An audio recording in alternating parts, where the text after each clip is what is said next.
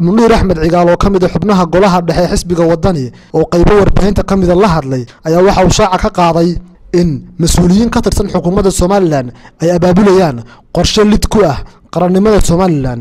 Muniir oo arrimahaasi ka hadlayana waxaa hadaladiisii ka mid ahaa.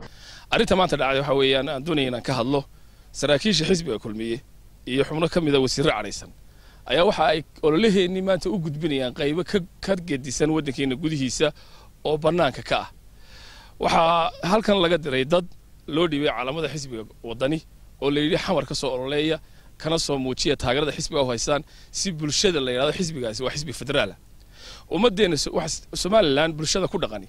Hadday markii hore dhibtii wada gaadhay ee ay dalkan kaga qaxeen ay tahay iyo haddii ay tahay dhibtii markii aynu soo gallay sokeeye dalka ka dhacdayba intaba siyaasiyiin baa jilayaalka ahaa. Kuwaasoo qaarkoodna gudaha joogaan maanta qaarkoodna markaa ay ku eedeynayeen inay baxeen. Laakiin shacabku labadaba wax dhiba kumay lahayn sabab sabab shacab iyo deegaano gaara iyo cid gaara loogu eedeeyo inaan midnimada somalilan lagu kala xigsado. Runtii wax aan tafaraaruq ahayn oo egeyigan horseedaysaa ma jirto. Waxaad arkaysa inoo cadaalad darro ahayd oo saraakiisha xisbiga kulmiye ka hadlayeen.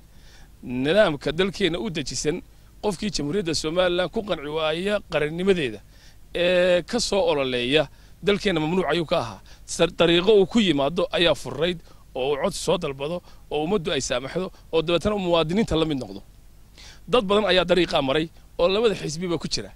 Waxaynu ognahay xisbiga kulmiye hadday tahay wasiiro maanta xilka haya iyo haddii ay tahay saraakiilba in ay dariiqaas soo mareen oo ay ka mid noqdeen muwaadiniin xaq dalkan ku leh oo dib dalkoodii ula soo midoobay wixii horena laga cafiyey. Inagoo marayna sunnaha ilaahay ee ugu weyn ee ah qofku hadduu dembaabo ilaaha abuurtay ayaa ka cafiya. Dalkeenna hadduu qofku qarannimada u soo noqdo uu ka cafiyo. Wasiirka xanaanada wasiir dowlaha xanaanada xoolaha cabdirashiid riyaraac wasiir ayuu ka ahaa soomaaliya kuwii ugu daraabu ahaa ee dalka la dagaalamayey haddana maanta muwaadiniinta ayuu ka mid yahay weliba xilka haya. Rofesor samater baa ka mid a doctor sifir baa ka mid a oo ra'iisul wasaare ku-xigeen ka ahaa.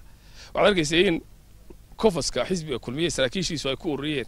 Laga yaabo qof iyo laba ku jira xisbiga waddani oo arrimo ka gundheer inta ay kuwaa kale soo mareenba aad moodid inay ka xoqayaan taasi midnimada dalkan ayay sii dhaawacaysaa waxay yeelayso iyo kambeyn ay naga caawinaysaa ma jirto hadday tii ka sii durugto iminka la leeyahay xamar ka soo ololeeya iyaduna ogobey waa masiibo kale oo aan xisbiga kulmiyana waxba u taraynin xisbiga waddanina waxba yeelaynin dacaayadna ku noqonaynin ee dalkeenna un hadimo iyo dhibaato u horseedaysa qodobkan markaa leeyahay waxaan u sheegayaa saraakiisha xisbiga kulmiye iyo weliba wasiirada aan sheegayaan cadhaysan war dalkan jamhuuriyadda somalilan in dhibaato ugu filan faraqu ku haysta. Generationka jamhuuriyadda somalilan u kacaya iyo dhallinyarada bilaa camalka iyo kuwa abaaruhu ay saameeyeen uma baahna ku jiqsiidii iyo isqabadkii iyo dadka kale qoqobkii ilaa qaaxa soo tacnaa shay kasta oo cunfi iyo iyo iyo runtii kala qaybin lagu dhisaa waa baytul cankabuut waa guri caaro. Ilaahayna subxana wa tacaala wuxuu yidhi guri la dhiso ka guriga caaro ayaa ugu liita oo ugu jilicsan waxay u baahan tahay somalilan guri sabada oo ishaysashaa oo crosta country ummaddu ay midowdo oo dhallinyarada la mideeyo oo aan cunfi lagu kala qaybin. Anuu garan maayo guriga iga soo horjeeda in laygu hanuuniyo layidhahdo muniiro guriga kaa soo horjeeda col baa tihiin oo toddoba awowal codahay intiisuu jiri doona iyo inta anigu jiri doona aanaan garanaynin. Inta intaasi jiri doonto garan maayo. Waxaan markaa leeyahay arrintaas xisbiga kulmiye saraakiishiisa ugu waaweyn iyo madaxdiisu ay ku kaceen wasiiradaan sheegaya ay ku kaceen ee ay xamar leeyihiin ha laga soo ololeeyo ama xisbi hebel xamar ha lagu shaambadeeyo ama deegaan hebel xamar bay u badan yihiin oo innagaa ka xigna.